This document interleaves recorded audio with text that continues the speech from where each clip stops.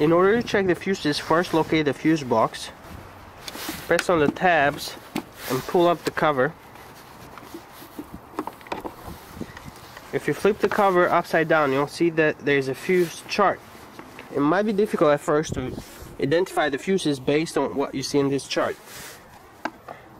A good way to start is to identify maybe two or three fuses. In this case, we're going to look at these two. So there should be two fuses there, an empty spot, and this. So that's not the case over here. So if you look down here, we got one, two fuse, an empty spot, and a third fuse. This fuse right here says ignition and it's a 40 amp, matches with this. The next one is ABS and it's a 30 amp fuse, matches with that one. We got an empty spot and the next one is a 40 amp fuse. In this case we want to check uh, the air conditioner fuse. If you look in this map, you can see that right there it says air conditioner. That's a 10 amp. So that this fuse right here, this fuse strip should match with that. So uh, 15 amp fuse, it's usually 15 amp says right there, it's a blue fuse and you can see we have two 15 right there and the third one is a 10 amp fuse and that's the third fuse so we're gonna pull the fuse puller and we're gonna pull the air conditioner fuse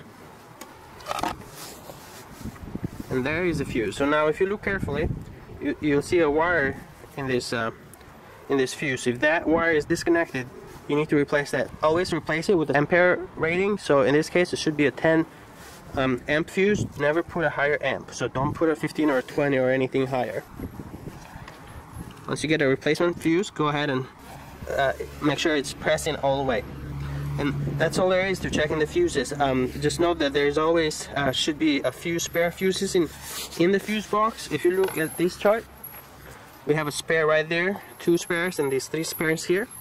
So the two spares, there's a 25, a 10, and then we have three more spares right here. Once you replace the fuse, put the fuse puller back in and put the cap and always make sure that the cap is locked in place because if it's not, uh, water can get in the fuse panel and cause corrosion and damage. Um, but checking the fuse is very straightforward.